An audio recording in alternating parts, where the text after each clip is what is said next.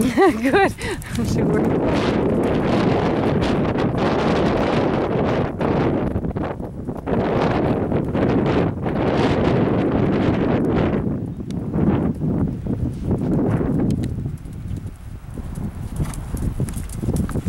Beautiful, Ellen.